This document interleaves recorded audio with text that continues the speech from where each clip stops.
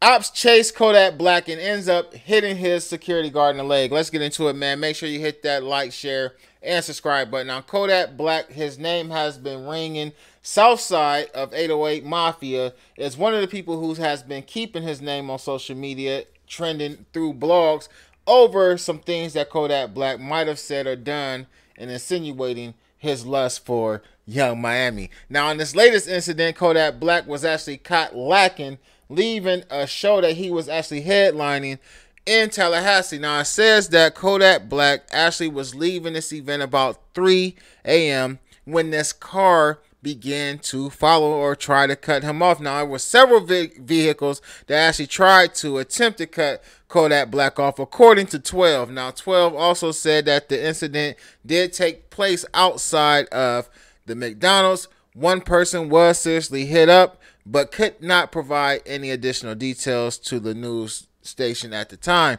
Now, it says, according to the preliminary investigation obtained by the Democrat, it says that Kodak Black's group pulled up to the McDonald's and it says that they blocked the entrance. Now, Kodak Black, he wanted to go in to get whatever he was getting from McDonald's himself. It says that the security team attempted to stop him. Now, the same vehicle that had been chasing him earlier pops up in a parking lot. They must check the spot out to see if it was Kodak Black. They spent the bin. Who knows what they were doing? Probably getting ready. And it says that when they pulled back up, they began spraying in the parking lot. Now, according to this report, a security guard was hit in the leg and taken to the Tallahassee hospital. Kodak Black was actually rushed away from the incident in another armored vehicle. Now, as of Monday, the security guard was still going under or undergoing serious surgery after being hit up in the leg. Uh, says that they actually hit an artery in his leg and he lost a large amount of blood. Now, the Culture Fest was a large all day music festival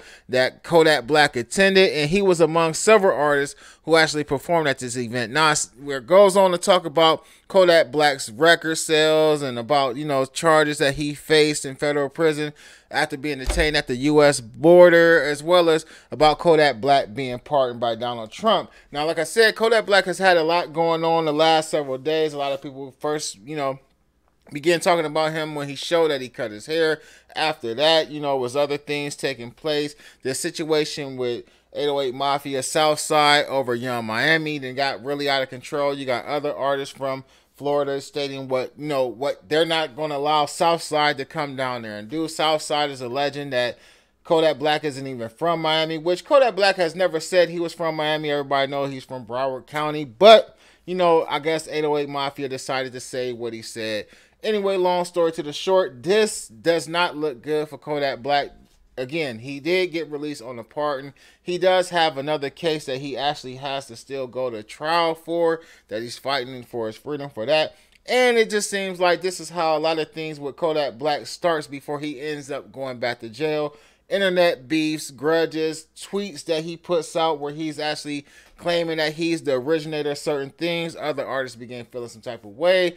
Maybe a little bit of perk usage or whatever in there. So it's a lot going on right now, and I can see Kodak Black beginning to spiral out of control. Hopefully, his team is able to pull him back and get him back together in position to win and not lose. But get in the comment section. Let me know what y'all think about this. I'm Amadi the Ruler. Hopefully the security guard pulls through.